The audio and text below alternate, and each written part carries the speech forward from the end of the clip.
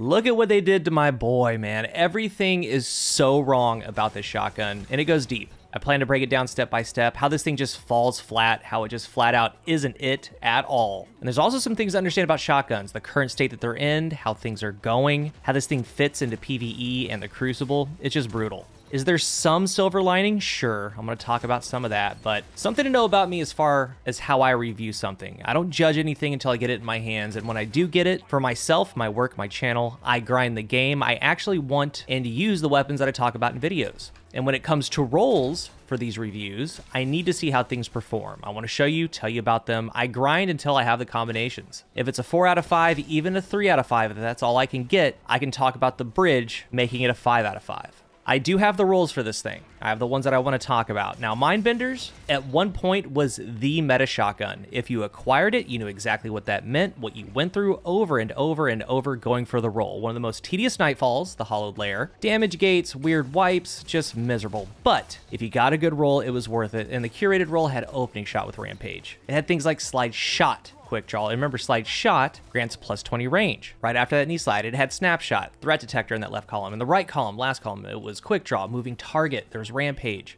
So everyone was excited to get their hands on an adept version. More stats, adept mods, but we got a weapon that has zero identity. The current Mindbender, acquired through a PvE activity, breaking news, shocking, is actually a better PvE weapon than Crucible. But even in PvE, it falls completely on its face, like zero identity there too. But I do want to start with the Crucible. Like in issue, spread shotguns are in a horrible state, especially the aggressive frames, these high impact, hard hitting ones. When you start getting into the numbers, the breakdown of these frames versus others, very clear answers. Bungie closed in the one-shot distance. They have horrible base stats as far as handling, range, and those two things are the biggest things on a shotgun, the most important things, like handling and range aside from some outlier perks. So out of the gate, these have a four and a half, five meter kill distance. They shoot slow. They don't handle well. The frame itself, if you get a hit, it does fire a little bit faster. But it comes down to making up your mind on those two stats, range and handling. So when you look at those barrels, like we have rifled, cool, plus 10 range, but your handling goes down to 16. That's a no-go. Full choke, okay, better spread, but you still have a base 29 range. That's a no-go. Smooth bore, wider cone spread, that's a no-go. That leaves us with corkscrew, barrel shroud, and small bore. Those are the best options, and the best all-around stats are going to be barrel shroud with accurized. It's 39 range, 41 handling, and at this point, it's hitting that 5 meter range but it still has just poor stats. But where I'm going with this, with those two options, high range, high handling, if you go high handling, maybe get lucky on the masterwork, add on adept handling, add in quick charge for plus 20 handling, you get to something like 81 total handling. Like that's cool, but you're still gonna have that around five meter range. You can maybe add on fragile focus, get those six and a half meter long distance kills. But why? Here's the issue with that. Let's remember, it's a chance, a chance at five meters, a chance at six and a half meters for the one hit kill. I've felt like lightweights have been the kings for a while, and when you break it down, like without remorse, this isn't even crafted. You can craft this shotgun. This is a non-crafted version. It's rifled barrel accurized threat elemental. 75 range, it has 100 handling with the threat detector scaler, and it has a faster fire rate hitting at six meters. If I miss at five, five and a half meters at six, I follow up with that faster fire rate. It's still gonna outdo a Mindbender, period. Same with the Riiswalker, same with the CQC 12. That one has quick draw. It has a meter more range. It's got the faster lightweight bonus, better handling. It's just a no-brainer. I think the lightweights crush this. But let's start talking about the direct competition. As much as people hate it, Felwinter is a 10 times better PvP shotty. Out of the gate, out of the box, off the lot, six and a half meter range. You don't have to do nightfalls. You can get one right there at the kiosk. It's set up for success. Plus 20 range on a slide. Has the best shotgun perk in the game, opening shot. It's just there at the vault. No fire team needed. Then of course, found verdict. The best aggressive, especially Timelost. Slide opening. Adept mod, 7 meter kills. That is worth grinding for. It's worth doing those raid encounters opposed to GM Nightfalls for this. And then, oh yeah, slugs exist. And there's a certain trial slug I'm going to cover next video that is worth a pickup. And when you get into these perks and look at them, my philosophy is that certain perk combinations can demand respect. Like they can do well if there's synergy. Third column, Slideways, not slide shot. So this doesn't give range. It gives plus 20 handling and plus 20 stability. You get some ammo back. Snapshot, threat detector, pugilist, lead from gold, autoloading. In the last column, steady hand, swashbuckler, one-two punch, well-rounded, fragile focus, incandescent. All of these perk combinations are so deterministic on a scenario, right? Well-rounded, you need to throw an ability.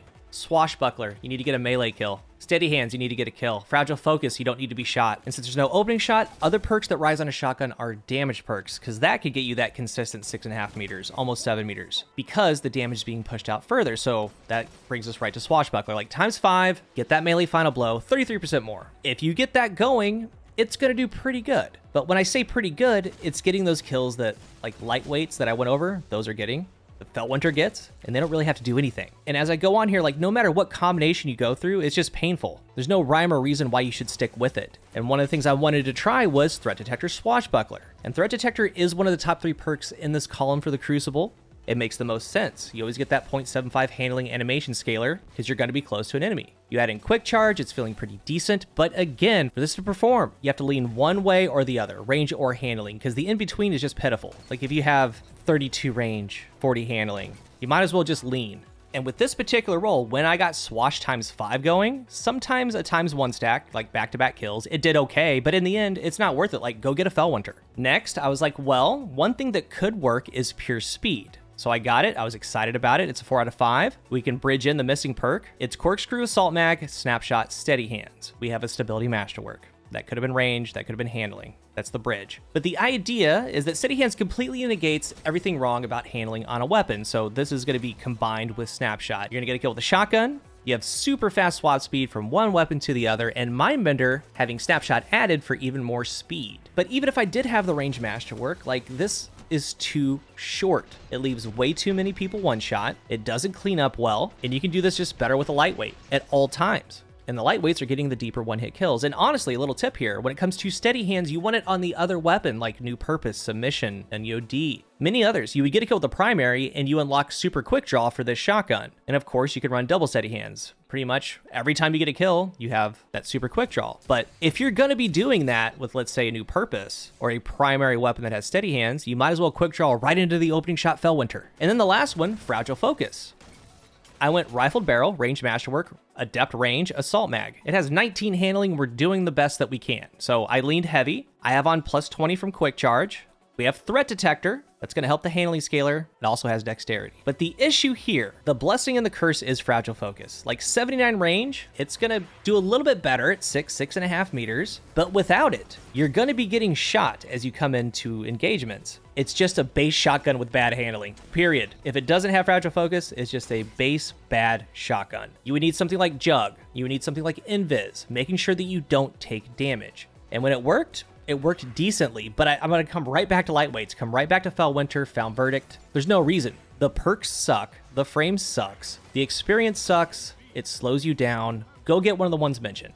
And there's another perk, as far as PvP, that could be warranted, and that's going to lead us right into PvE. One-two punch. One-two punch, as far as PvE, is great. Maybe Worm God, Winter's Guile, Liar's Handshake, land a shotgun shot. Every pellet of that shotgun shot, 200% more damage. For that melee, 350% versus bosses, and certain builds can just one-shot targets cool. And in the Crucible, if you play Trials, a one-two punch shotgun is needed at all times. Maybe it's freelance, maybe you don't play too much, or maybe you do play in a fire team. Have one on you, because the bubble and the well come up frequently in that fourth round, possibly third. A one-two punch shotgun is one of the only things that you have that can take that out. So as you're switching from round three to round four, put a one-two punch on. But when I saw one-two punch, I thought, well, that could have some PvP use, but definitely in PvE, right? And when you look at it, something like this, we have lead from gold, one-two punch something like Pugilist 1 2 is going to be so great. We also see Incandescent, and like it's fun, it's fun, but another massive issue. Like, again, bringing up identity, how it just falls flat, how it's just all wrong without remorse. It's another solar shotgun.